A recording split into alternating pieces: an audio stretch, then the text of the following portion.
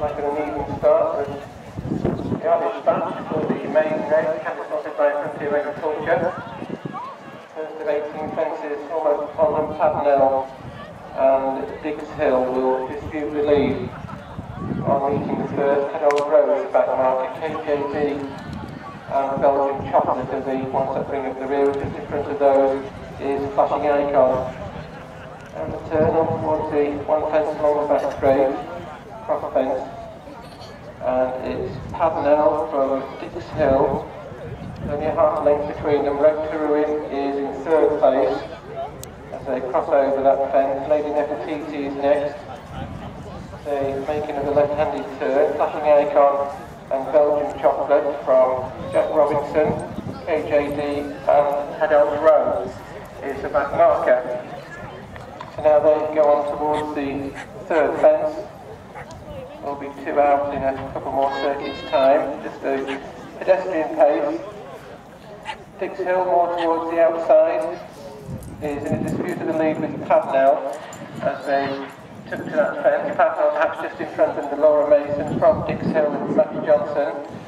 The rest of them are all queuing up in behind, pulling hard, road to ruin, possibly just sharing third.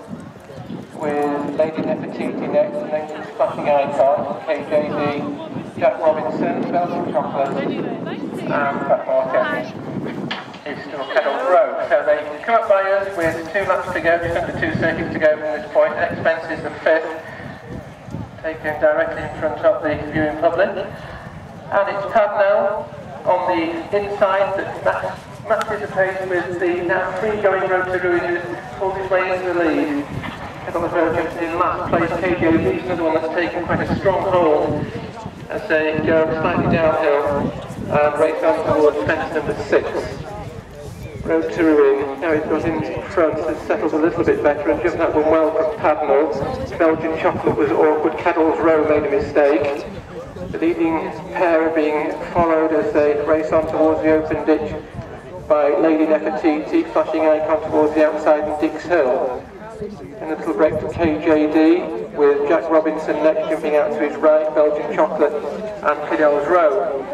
They've all successfully negotiated the open ditch the first of two occasions. They're approaching now the eighth as they go through the point from where they started.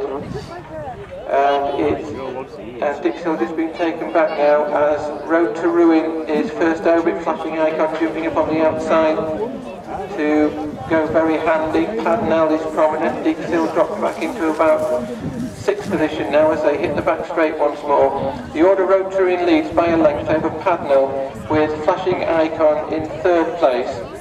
Jack Robinson, Dix Hill, and then comes Lady Nefertiti. It was an awkward jump by Kayjaydee, who's got two behind as they jump the solitary fence on that part of the course. Belgian Chocolate, one of those, and Cadell's Row the other. So heading now back towards the two fences at the final straight for the second occasion, so well over a lap to go in the maidens conditions race, sponsored by Frontier Agriculture.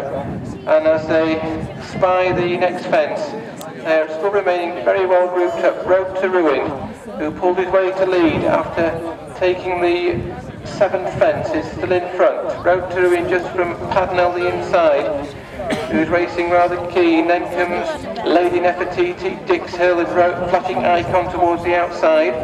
As they come over the fence, that will be the last in a circuit's time.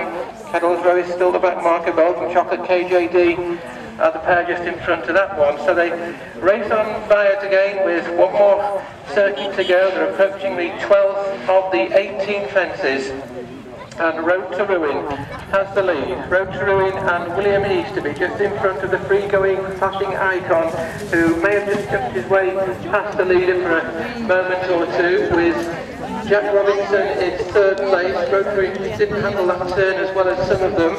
And Lady Nefertiti in the hood has pulled her way up to have a view of the front. Dix Hill travels well in about fifth or sixth position under Max Johnson as they cross over the next. Cadell's Row is getting a little bit remote, also pushed along is the gamble of the race Belgian Chocolate as they head towards the open ditch for the final time.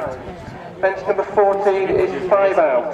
Lady Nefertiti and Road to Ruin from Padnell and Dix Hill. That's the leading quartet. Flashing Icon is out wide, very much in the thick of things. So too is Kayjaydee. Now Jack Robinson is beginning to feel the of his rider's whip. Belgian Chocolate is barely in touch, but uh, Cadol's Row is a further four lengths off them, but will still have a chance. Certainly couldn't discount it as they go over the last on this section.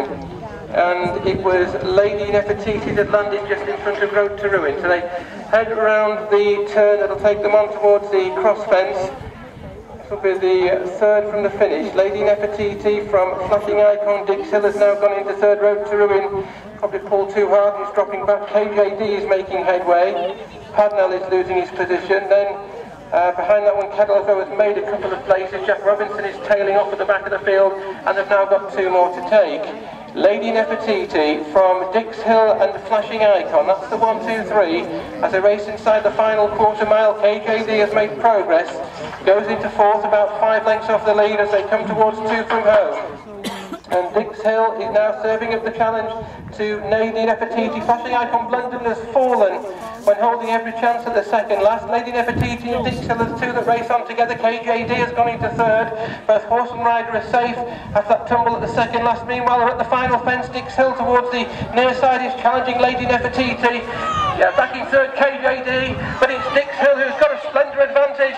Lady Nefertiti is running. It's going to be close all the way to the finish. Dix Hill and Lady Nefertiti will lead the judge to separate those two. Kayjaydee was next in third. Cadol's Row stayed on late up the hill to finish uh, just behind those. They were trailed in by